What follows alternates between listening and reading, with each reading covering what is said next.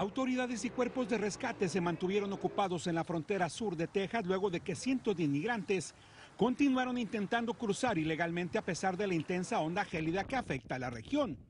En este caso, los rescatistas acudieron al auxilio de una persona que intentaba cruzar el río Bravo en Nuevo Laredo, pero ya era demasiado tarde.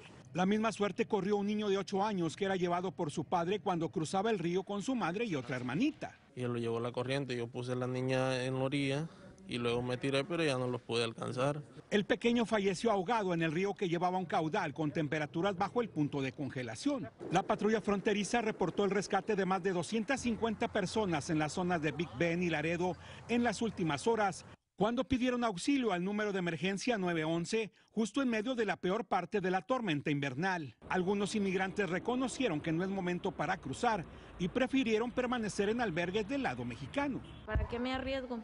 Ahora yo tengo mi bebé pequeña, prefiero esperar aquí. Pero quienes sí lograron cruzar se quedaron varados en diferentes refugios del lado norteamericano debido a la suspensión de autobuses y vuelos que les impedían viajar más adentro del territorio estadounidense. Los inmigrantes también están sufriendo por el frío, es algo devastador y pues gracias a la cooperación de todos para ayudarnos unos a otros, aquí estamos haciendo el esfuerzo. El albergue entró en crisis ya que se quedaron sin comida debido al corte de energía eléctrica, por lo que esta tarde personas de la comunidad acudían a brindarles ayuda. Son como 800 gentes. Ahorita nos está diciendo que no tenían que comer, entonces les cayó del cielo. Organizaciones como Caridades Católicas dicen que ya se están preparando para esta segunda onda gélida, ya que el flujo de inmigrantes, a pesar del frío, no se ha detenido. En McAllen, Texas, Francisco Cobos, Univisión.